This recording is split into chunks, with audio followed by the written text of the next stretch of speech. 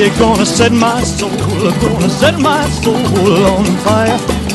Got a whole lot of money that's ready to burn, so get those stakes up higher. There's a thousand pretty women waiting out there.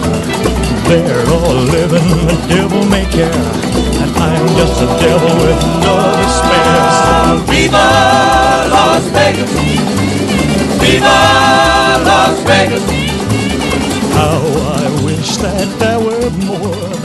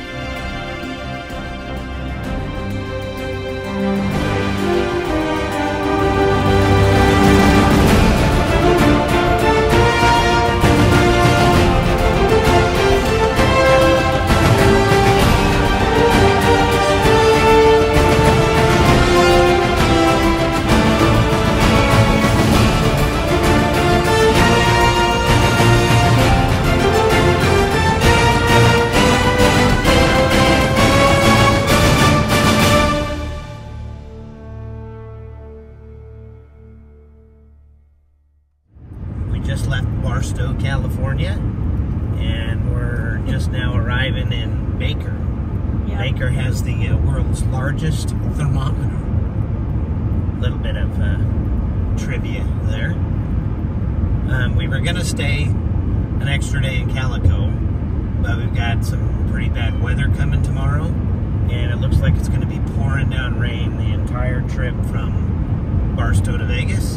So my wife here came up with a great idea to just go ahead and pull out early and we uh, called the place we're staying in Vegas and they had uh, space tonight so we just went ahead and packed up this morning had some breakfast burritos and got on the road so we should be in Vegas here in about another hour or so Yeah, first. and uh, got a great tailwind there's the uh, world's largest thermometer right outside my window there.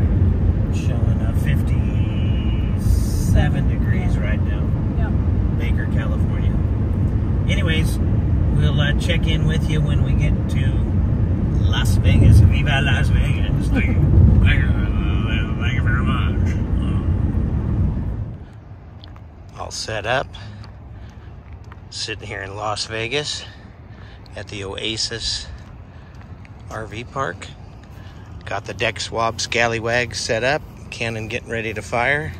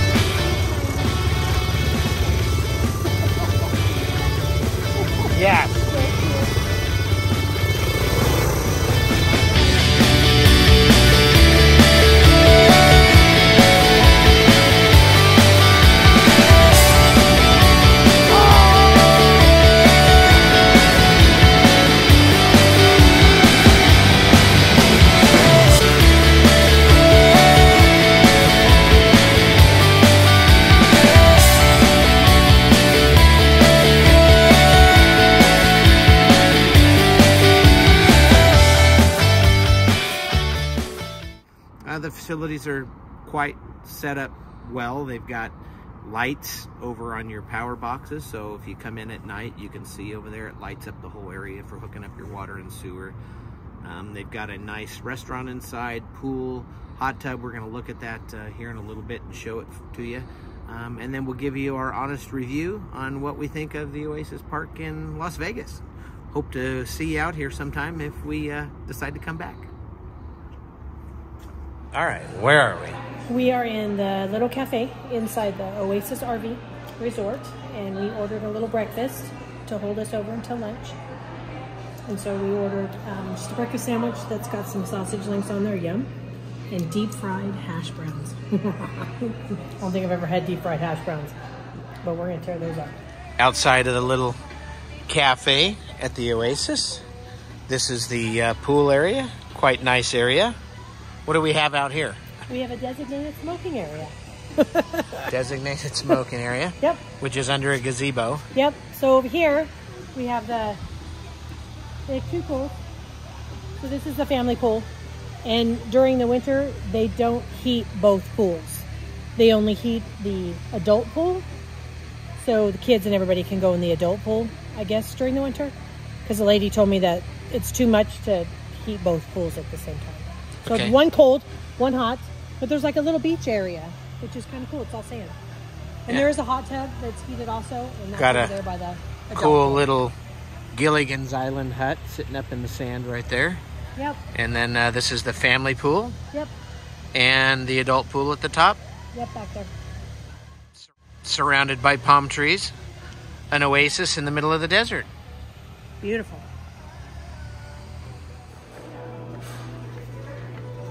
Little store. Yeah. Cabana Marketplace. You got all your little souvenir and knickknack and stuff?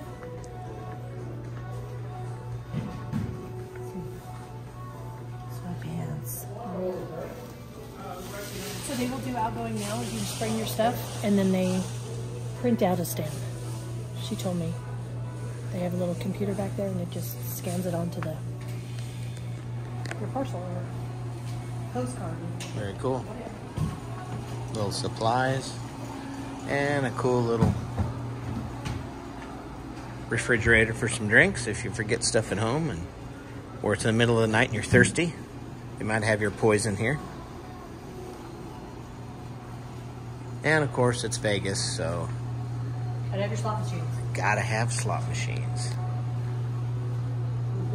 This area is for 21 and older. They do have slot machines. I wish it was. And there's some beer or wine and beer. We do have a little RV section. Got some camping stuff there. And then your RV section here. Oh yeah, they got extra power cords Toiletries. and toiletries. Very cool. Chocks, stinky slinky holders, and for you readers that like to uh, read while you're here, they got a little library exchange set up, little bookshelf right by the front desk when you come in. And here is the entrance. You got a cool little fountain. It's definitely a nice looking area when you pull in. I love these benches. Little wagon wheel benches in the front. Very westerny. And there starts here they have a golf course. A putting course. For putting. I see. You've got a golf course. First hole. Putting course. This is hole one right here. No pets allowed. And you sign in at the registration desk. So here's hole one. And then if you look over there, there's all the other flags. I see. You cross. I wonder if it's uh, 18 holes. We'll find out how many holes they have. I'm gonna venture to say nine. All right, I'm going to go with 18. What do y'all think? Is it nine holes? Now, don't cheat if you've stayed here before. Or is it 18? I'm All right, nine. we're going to go in and find out right now, and we're going to get back to you.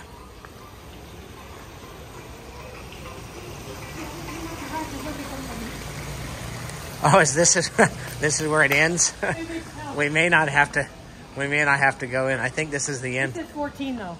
I think uh, 14. All right, let's let's go find out how many holes they have. I say they have 18. She's already wrong because we found 14. Whatever. So we're gonna find out. Let's go find out. Here she comes with the info. All right, what'd you find out on the golf courses? So I lost. I lost. You lost. Um, yeah. So this is 14, but there is 18. Ah, They're around back. Whatever. the coup is right again. Whatever. Score one for the men. Hey, I got a joke for you. What's that? Hey, what's a pirate's favorite letter? Arr. No, it'd be the C.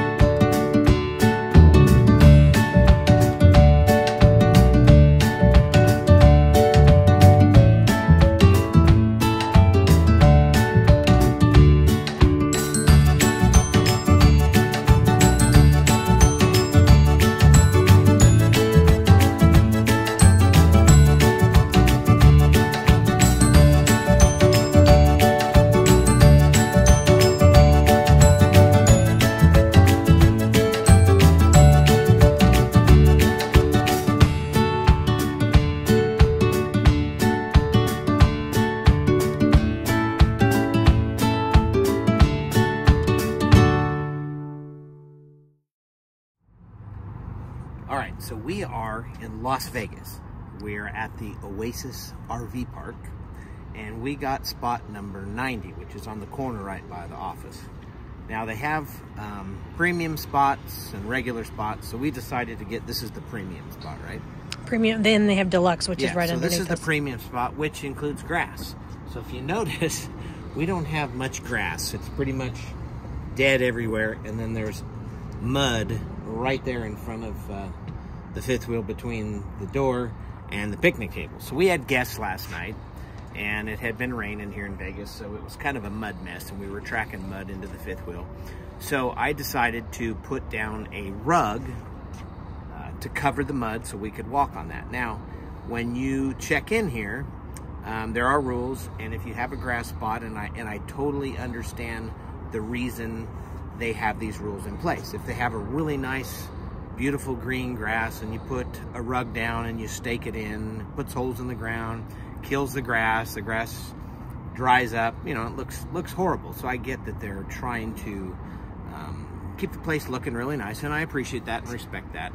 Um, however, if you look at my spot, it is pretty much mud right there. So um, I was told politely uh, last night after putting the rug down, and I didn't stake it into the ground, we just laid the rug over the mud, um, that we couldn't have anything in the grass area. So we had set up our display in the grass with the pirates and the cannon, and uh, respectfully, uh, I was very polite, and I picked everything up, and we put it on the concrete there and put our display on the picnic table.